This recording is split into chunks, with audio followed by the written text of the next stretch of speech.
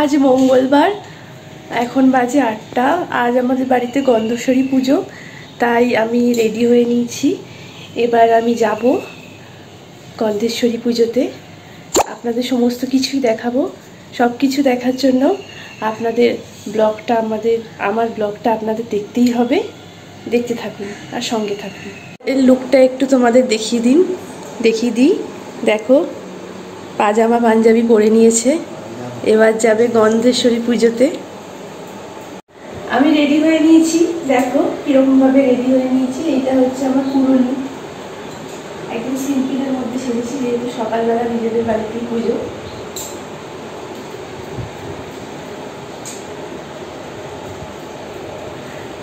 আজকে আমাদের বাড়ি গন্ধেশ্বরী পুজো।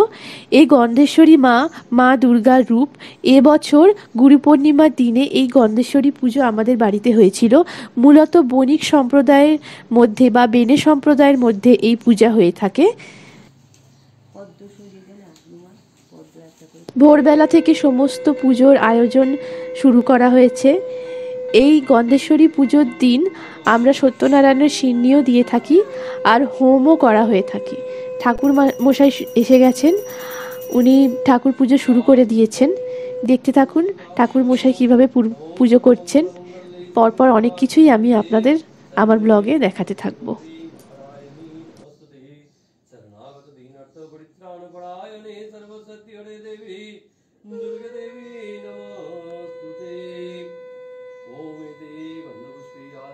ঠাকুরমশাই এখানে সত্যনারায়ণের ব্রতকথা পড়তে শুরু করেছেন। আমরা সবাই সত্যনারায়ণের ব্রতকথা মন দিয়ে শুনছি। এরপর ঠাকুরমশাই আরতি শুরু করবে শ্রীনিবাস শ্রী ভক্ত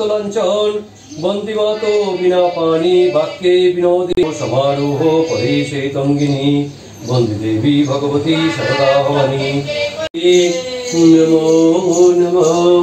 ও নমঃ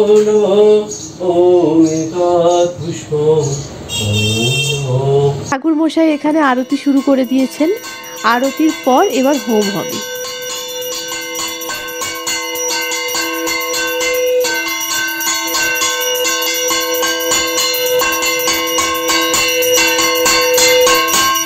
এখানে হোম হচ্ছে মানা হয় যে গন্ধেশ্বরী পুজোর একটি প্রধান উপে- উপাচার হচ্ছে হোম।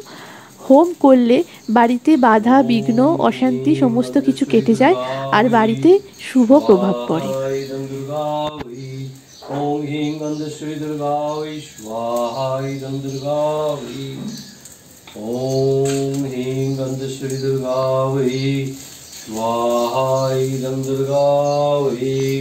ॐ ह्रीं गन्तश्री दुर्गा वै स्वाहा।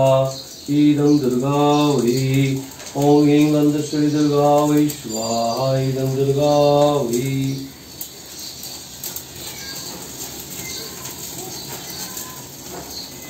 ॐ ह्रीं गन्तश्री दुर्गा वै स्वाहा। ईदं दुर्गा वै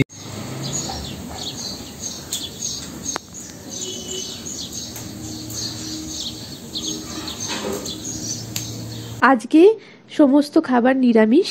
খাবারের মধ্যে আছে নবরত্ন কারি আলুর দম আর লুচি। সমস্ত তরকারি আমার শাশুড়ি মা করেছেন আর লুচিটা শুধু আমি করেছি।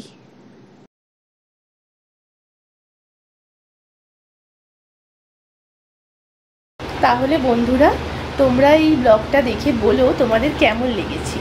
যদি ভালো লেগে থাকে, তাহলে একটা লাইক শেয়ার আর সাবস্ক্রাইব কিন্তু অবশ্যই করবে। তাহলে আমি খুব সাপোর্ট পাবো আর আমার খুব ভালো লাগবে তোমরা যদি আমাকে সাপোর্ট করো। তাহলে সঙ্গে থেকো আর আমার ব্লগগুলো দেখতে থাকো। ধন্যবাদ।